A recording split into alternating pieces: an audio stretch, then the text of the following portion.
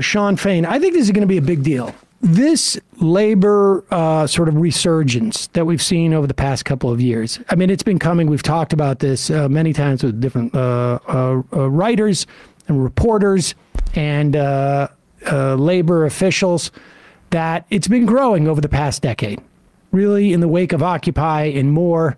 Um, and certainly, COVID, I don't think is. Um, hundred uh, percent uh, responsible for it, but is significant has a significant impact on this. I mean, the organizers that we've had and the wor- labor, uh, the workers that we've had on that have been organized and have mentioned it almost yeah. always when we talk. Without a doubt, I mean, it's impossible that it didn't have a big influence. But people got to remember that you had the Red State Revolt. Uh, the teachers, you know, but uh, this is spread wider to teachers, and, and, and certainly COVID sort of laid a lot of things bare. Um, and uh, but Shawn Fain has taken the the bull by the horn. It doesn't necessarily. I mean, you could argue that COVID may have helped a lot of these sort of like union reform movements, but also this has been growing, and um, much of that developed in that uh, eight years that uh, Barack Obama was failing to meet the standards that Democrats were holding him to on that accord. He came in promising he was going to put his soft shoes on, and then we saw strikes out in Madison, Wisconsin, and he didn't show. Um, and and all the while, by the way, this was the wake of the economic collapse, where UAW workers in particular were asked to make significant to cuts to eat it, to eat things like cost of living adjustment, which is the number one way that they get pay raises. And there were a lot of promises made by CEOs, and the Democrats did nothing about it until this moment. Yep. I mean, until until they took the bull by the horns, as you say. So Fain alluded to this uh, when they signed their contract, but they uh, they had the contract uh, come up for renegotiation in May of 2028, and he wants the rest of the union movement to peg their contracts to the similar day. And here he is uh, talking about it at the UAW um, uh, conference um, just yesterday. Good. Something that's not talked about a lot, but it's very significant, is we set a new contract deadline for May the 1st, 2028, May Day, International Solidarity Day.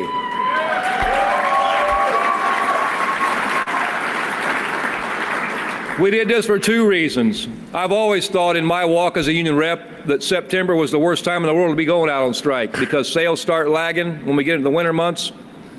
May made a hell of a lot more sense. But it also made sense to do it in a unified approach. We got to get back to the days, we got to pay for our sins of the past. Back in 1980, when Reagan at the time fired the Patco workers, everyone in this country should have stood up and walked the hell out.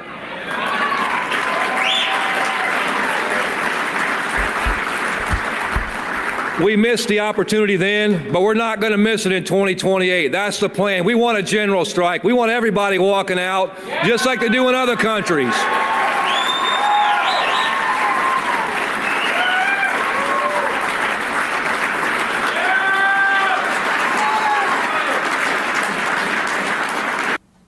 Uh, this is the first time I can remember. Maybe it happened back in the the the 70s and 80s. I don't recall it, but this is the first time I can remember where you had a major union leader saying the words general strike. Oh, and yeah. not, I mean, basically calling for one. I mean, what? This has got to be harkening back to pre Taft Hartley days. Like, we're talking.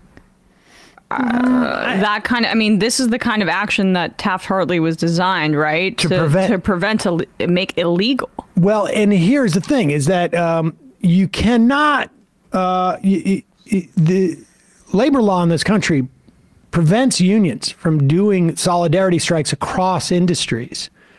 However, if your contracts are coming up at those times, and these are uh, these are, and you're you know you come out of contract uh, in June of 2028. Yeah, it's a it's a totally different ball game. And so uh, this is good to see.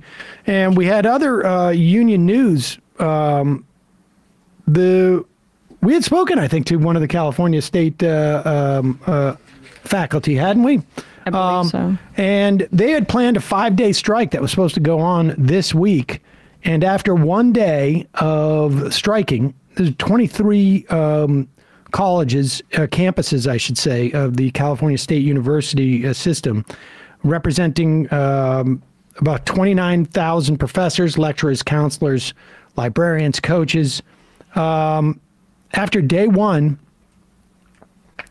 they uh, the strike was settled. Mm. It includes higher salary floors for the lowest paid workers, safer workplaces, expansion of parental leave, and uh, union leaders say the agreement includes a 5% salary increase retroactive to July 1, among other benefits. So um, that's a good sign that yeah. they uh, that it took them one day until they agreed on that.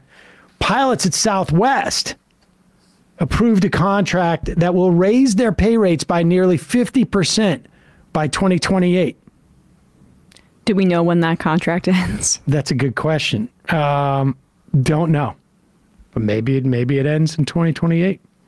Um, the uh, Southwest Airlines Pilot Association, 11,000 pilots ratified the agreement to from a uh, with a 93 uh, percent um, to 7 percent margin, and that agreement followed more than three years of bargaining, which um, you'll recall in 2022, and Southwest Airlines is now being uh, fined for this.